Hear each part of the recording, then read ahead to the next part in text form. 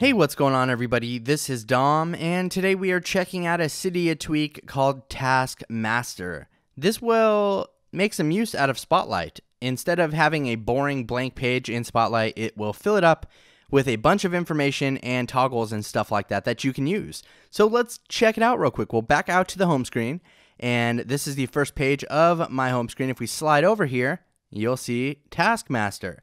So this will give you a bunch of stuff on your Spotlight search panel, as you can see right here. If we tap on the play button, we can go ahead and start playing music. Of course, you're not going to be able to see that there. And it does seem to be a little buggy, as you can see. When I started playing it, the album art didn't pull up until I paused it and then started playing it again. But as you can see, you guys get the point here.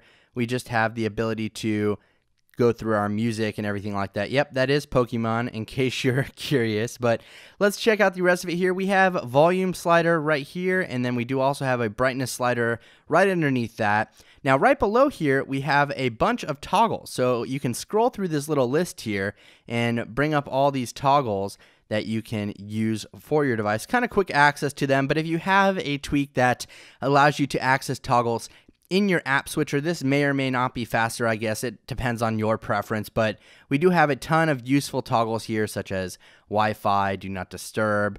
We have uh, sound settings, orientation lock, stuff like that. Just your standard toggles, I guess, that you would use in pretty much any situation. Now, below that, we do have some social buttons. So we have Twitter, Facebook, we have compose a new mail message here. As you can see, we can jump to that real quick. And then we also do have compose new text message. Now, here's the thing with this though. I noticed this when I was using the tweet button. So if I tap on the tweet button, right?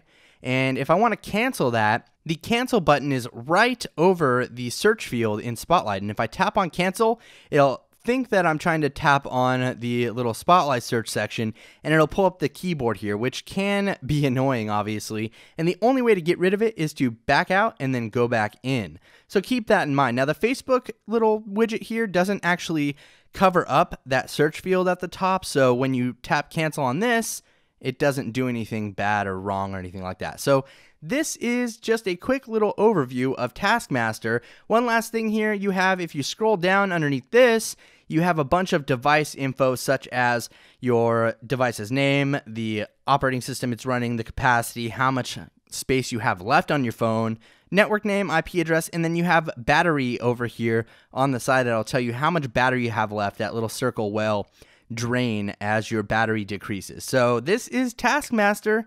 It's pretty cool if you don't like Spotlight or you're tired of having just a blank page that isn't put to any use, this may be the tweak for you. So if you like Taskmaster, you can grab it in the Big Boss repo for $1.99. It's compatible with iOS 5.1.1 and higher.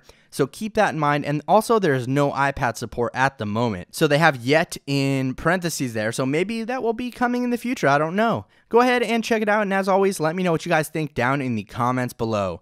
Thanks again for watching, everybody. This is Dom, and have a great day.